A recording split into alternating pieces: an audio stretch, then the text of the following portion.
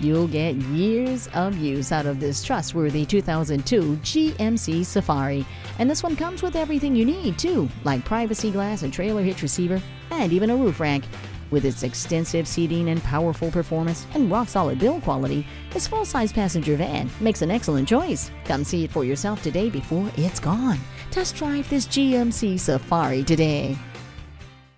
Call, click, or stop in today. We're conveniently located at 330 Woodruff Road in Greenville, South Carolina.